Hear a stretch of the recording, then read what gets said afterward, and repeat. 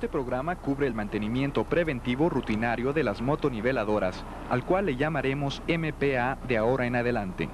El operador es responsable de efectuar este servicio cada 150 horas de operación. El MPA es tan importante en la operación como el cambio de velocidades o el ajuste de la cuchilla. El cuidado del equipo es una cosa que distingue a un operador de un conductor.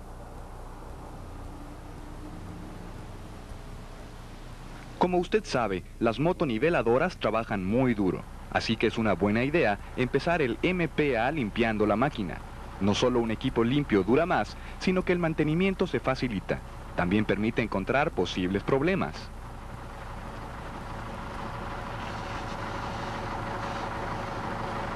Hay muchas cosas que comprende el mantenimiento de un equipo pesado como la motoniveladora, y nadie espera que usted memorice todo el procedimiento. Para eso existe el Manual de Mantenimiento Preventivo de su equipo, que cubre todos los puntos que requieren atención para completar el MPA.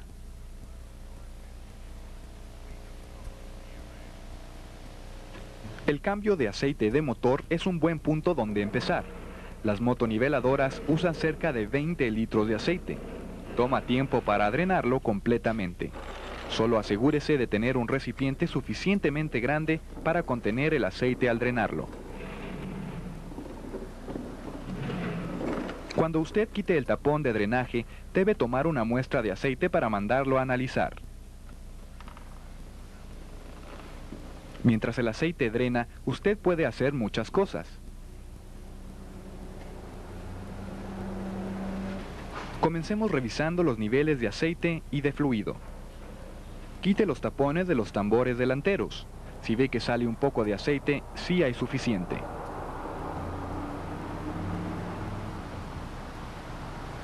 Luego, revise el mecanismo para girar la cuchilla. Quite el tapón y toque adentro. Deberá sentir el aceite. Si no lo siente, asegúrese de añadir aceite del tipo correcto.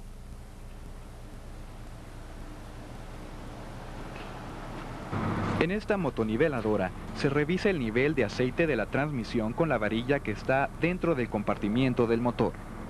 Mantenga el nivel entre las marcas de lleno y vacío de la varilla. En algunas motoniveladoras se revisa el nivel de aceite de transmisión quitando la tapa de drenaje y revisando el nivel visualmente.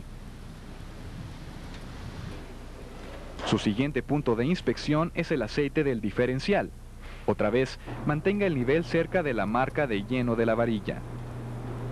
Revise el nivel de líquido de enfriamiento o refrigerante. Quite la tapa del radiador y mire adentro. El líquido debe llenar completamente el radiador hasta 3 centímetros o una pulgada del cuello por donde se llena. Nunca revise el nivel en un motor caliente. Esté seguro de que el motor se haya enfriado lo suficiente antes de abrir la tapa del radiador.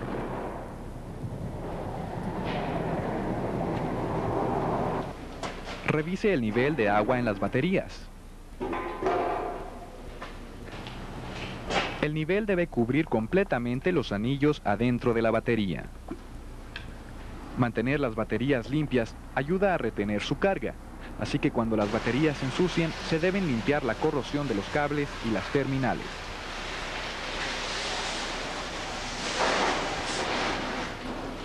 Solo hay que revisar un nivel de aceite más, el aceite hidráulico. En esta motoniveladora se revisa por medio de un tubo de vidrio al lado del tanque. Cuando el motor esté apagado, el nivel de aceite debe estar bajo la marca de lleno, como esta, ya que el aceite se expanderá cuando se caliente. En este modelo se revisa el nivel de aceite hidráulico con una varilla ubicada en la cabina. Lea el manual de operación de la motoniveladora para encontrar el lugar de este y otros puntos importantes de servicio. Vamos a repasar rápidamente los pasos para revisar los niveles de fluido y aceite. Drenar y tomar una muestra del aceite del motor. Revisar el nivel de aceite en cada uno de los tambores delanteros. En el mecanismo de operación de la cuchilla, y en el diferencial, revisar el nivel de aceite de la transmisión, el nivel de líquido del radiador, el nivel de agua en las baterías,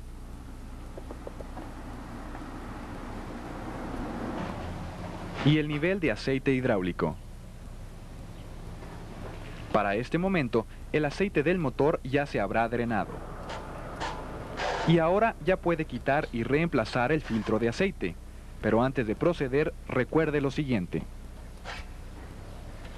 Primero, siempre limpie la junta del filtro de aceite.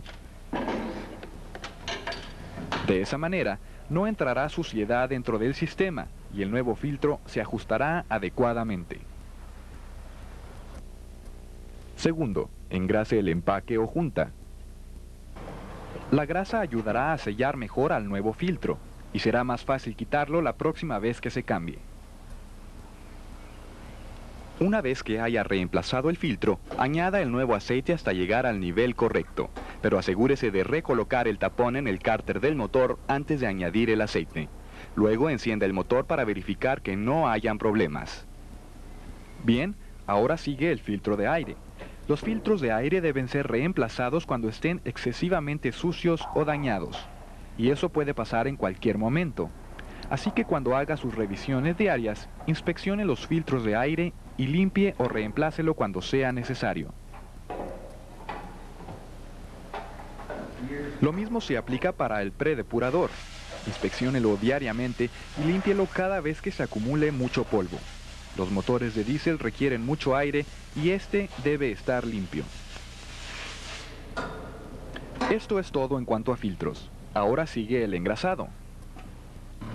La regla que cubre cuáles mecanismos se deben engrasar y cuándo engrasarlos es muy simple. Engráselos todos y diariamente. Esta regla también cubre el MPA. No tiene sentido hacer un mantenimiento incompleto. Así que escoja un buen lugar para empezar y trabaje alrededor de la máquina. Si su motoniveladora tiene escarificador, engráselo. Y engrase todas las articulaciones de la cuchilla.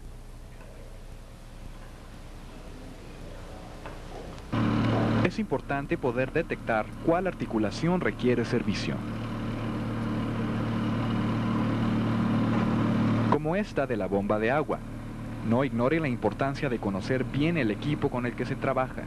Hay varios tipos de motoniveladoras y cada tipo tiene sus propios requerimientos de mantenimiento. Y bien, solo queda un punto más. Los frenos. Si su motoniveladora tiene frenos de aire, como esta, usted debe purgar el aire del sistema para así deshacerse de cualquier humedad que se haya condensado en el tanque y las líneas de aire. No todas las motoniveladoras tienen frenos de aire.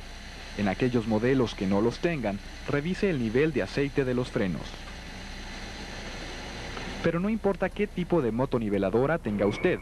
Para completar el MPA, usted debe realizar todas las revisiones diariamente, más aquellas listadas en el esquema del MPA. Como se dijo antes, no tiene sentido hacer un servicio incompleto. Para terminar, siempre se debe registrar la fecha y el tipo de servicio que le dio a la máquina. Llevar un récord exacto es muy importante para mantener nuestro equipo fuera del taller mecánico y trabajando en la carretera donde éste pertenece.